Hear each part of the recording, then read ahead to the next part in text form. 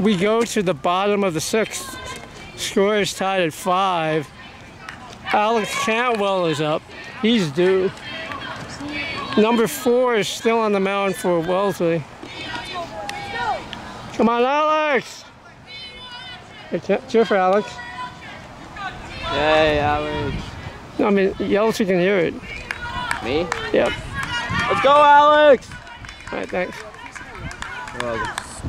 That represents me. Alex is leading off. That off. was just for me. He threw a curveball, strike one. He struck him out looking in the last last inning.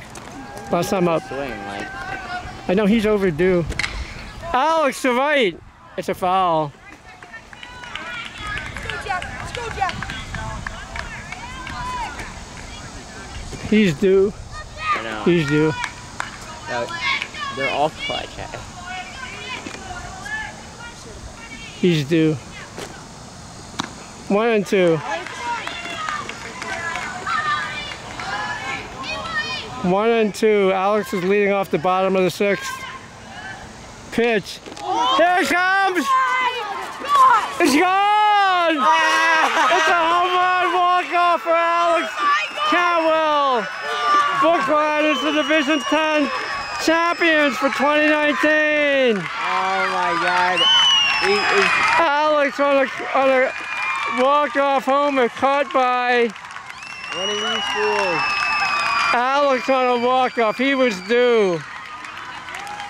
Brookline wins the Division 10 title on a walk-off homer by Alex Cantwell. Why are they all so clutch? Six to five. They could just like win it in a Clutch Gene, my much, friend. much easier fashion. I don't understand. Because this is like, I told You you, have to make it difficult. I don't like. this is like the state finals. I'm telling you. Why not just hit these home runs in the first inning? Like, Brookline six to five. Three homers off number you four. shouldn't have left him in. Like, he was getting destroyed at the end.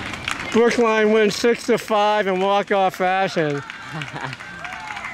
Ford, Elias, Alex, home runs to fuel six runs for Brookline. They're going to take home the state, uh, the division, the District 10 banner. He was due. He was he was due. For Alex was due for a big hit and he got it. He got everything on that one. And Brookline celebrates outside of third base.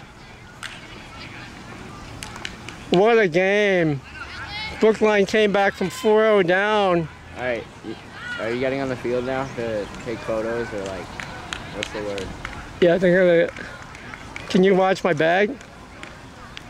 I'll just take it.